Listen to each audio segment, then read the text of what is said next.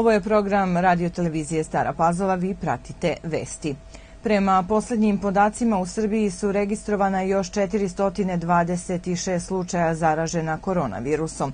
Preminulo je 8 pacijenata. Na respiratorima se nalazi 205 osoba. U poslednja 24 sata testirano je 11.521 pacijent.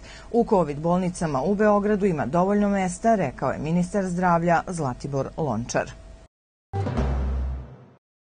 Pokrajinski sekretar za zdravstvo Zoran Gojković rekao je danas da se u Vojvodini u ovom drugom piku prvog talasa epidemije virusa korona beleži povećanje broja obolelih više nego u prvom delu epidemije i svi kapaciteti zdravstvenih ustanova u Novom Sadu su u COVID funkciji. Stagnira broj ljudi koji se na dnevnom nivou javljaju u sve tri COVID ambulante na teritoriji opštine Stara Pazova, saznaje RTV Stara Pazova u Domu zdravlja dr. Jovan Jovanović Zmaj. Taj broj iznosi 75 do 90 pacijenata dnevno i već nekoliko dana nije u porastu, pa se pomalo optimistički može reći da zaraza lagano izlazi iz akutne faze u ovom drugom naletu. Delegacija Srbije boraviće u naredna dva dana u Briselu gde će voditi razgovore sa predstavnicima Evropske unije i privremenih prištinskih institucija, a direktor Kancelarije za Kosovo i Metohiju Marko Đurić kaže da na agendi neće biti pitanje međusobnog priznanja, kao što kaže insinuiraju u Prištini, već ekonomska saradnja, pitanje nestalih i raseljenih i obaveze koje je prištinska strana preuzela briselskim sporazumom. Potpredsednik vlade Srbije i ministar unutrašnjih poslova Nebojša Stefanović razgovarao je danas sa šefom delegacije Evropske unije u Srbiji Semom Fabricijem o napretku Srbije u procesu evropskih integracija, vladavini prava i daljim koracima koje će MUP preduzeti u okviru poglavlja 24. Stefanović je upoznao Fabricija sa razgovorima koje je nakon izbora imao sa predstavnicima posmatračke misije i tom prilikom je naveo da će Srbija nastaviti da radi na dodatnom unapređenju izbornih uslova u našoj zemlji. Na današnji dan pre 53 godine sa radom je počela Radio Vojka, najstarija lokalna radiostanica u Sremu, preteča današnje radiotelevizije Stara Pazova. S obzirom na to da je informacija sa lokalnog nivoa jako potrebna i danas, posebno u vreme vanrednih situacija, jasno je da je Petar Radivojević osnivač bio veliki vizionar kao i njegovi najbliži saradnici.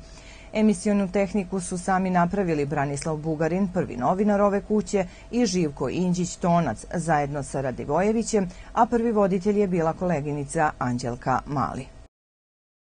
Radio televizija Stara Pazova i u svojoj 53. godini postojanja pruža najvažnije informacije sa lokalnog nivoa i se cele staropazovačke opštine i to je njena misija od samog osnivanja. Posebno vanredne situacije u kakvoj se nalazimo i sada predstavljaju veliku glad za informacijama. Tek kada su ovakve vanredne situacije kao što je ova ili kao što smo ih poslednje godine imali za vreme majskih poplava 2014. vidi se koliko su lokalni mediji važni i vidi se koliko je neko ko je pre 53 godine osnivao lokalni medij ovde kod nas zapravo bio e, dalekovid i shvatao važnost njihovu.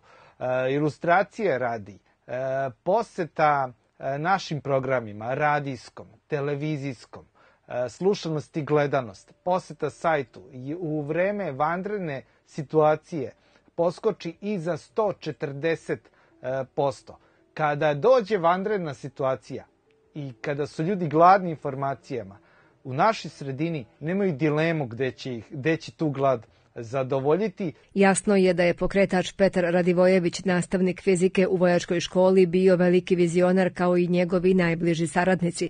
Branislav Bugarin, prvi novinar ove kuće i Živko Inđić Tonac su zajedno sa njim napravili emisionu tehniku, a prvi voditelj Anđelka Mali je tačno 22. jula 1967. godine izgovorila u etar ovde Radio Vojka. Danas je ovo radio televizija Stara Pazova koja emituje program na dva jezika od pre 9 godina i televizijski program uz svoj sajt i YouTube kanal. Opstaje u eri digitalnih tehnologija kada mediji polako prestaju da se dele na audio, štampane i vizuelne, a postaju jedan mediji. Jedino što se dele na medije koji stvaraju informacije, na medije koje drugi citiraju i na one koji prepisuju i koji citiraju originalne medije. Mi spadamo u onu prvu grupu.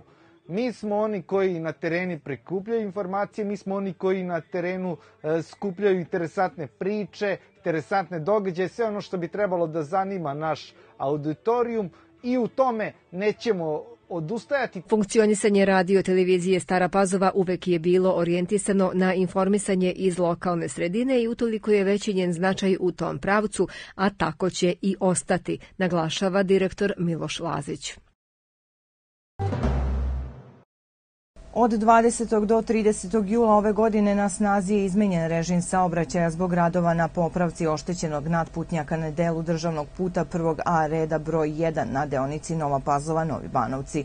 U zoni radova iz pravca Beograd-Novi Sad saobraćaj se preusmerava sa leve na desnu kolovoznu traku gde će se saobraćaj odvijati dvosmerno.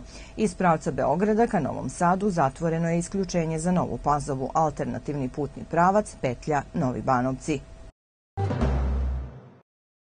Do 30. jula izvode se i radovi na održavanju kolovozne konstrukcije na državnom putu prvog A reda broj 1 na deonici Nova Pazova Stara Pazova.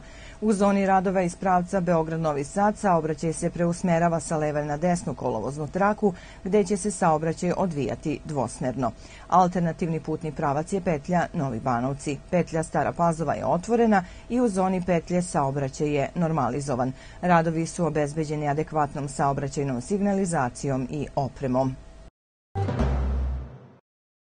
Zbog neophodnih radova na vodovodnoj mreži u Novoj Pazovi sutra 23. jula planira se isključenje vode u periodu od 8 do 12 časova u centralnoj industrijskoj zoni, blok 5, infrastrukturni koridor, put Vojka Stari Banovci. Za sve dodatne informacije možete pozvati telefonski broj 022 321 265. Juče je izvršeno prskanje komaraca samo sa zemlje i to metodom hladnog zamagljivanja u mestima Stara Pazova, Nova Pazova, Vojka, Golubinci i Krnješevci.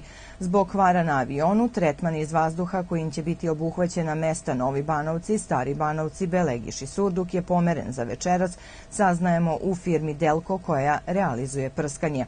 Tretman će se vršiti u periodu od 18 do 22 časa. Preparat kojim će se vršiti tretman je Delta Sect 1.2 ULV i toksičan je za pčele, pa se ponovo upozoravaju pčelari da uklone košnice najmanje 5 km od navedenih mesta tretiranja.